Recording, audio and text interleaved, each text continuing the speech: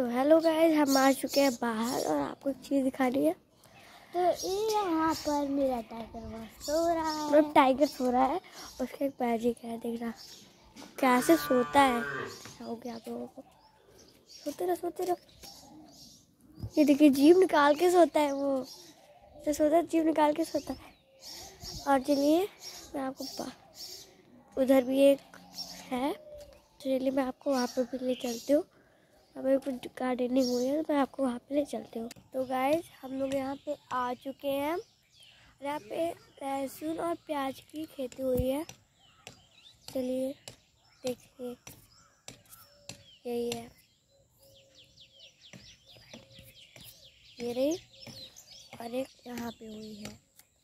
उधर प्याज का था और इधर लहसुन है। चलिए, मैं आपको और दिखाती हूँ, वहाँ पे भी। हाँ जो मेरी बहन बोल रही है, आई। चलिए आता है। यहाँ पे भी हुई है, जैसे कि आप देख रहे हैं यहाँ पे। लहसुन बहुत ही अच्छे अच्छे हैं। एक करेला है जो कि चढ़ चुके हैं।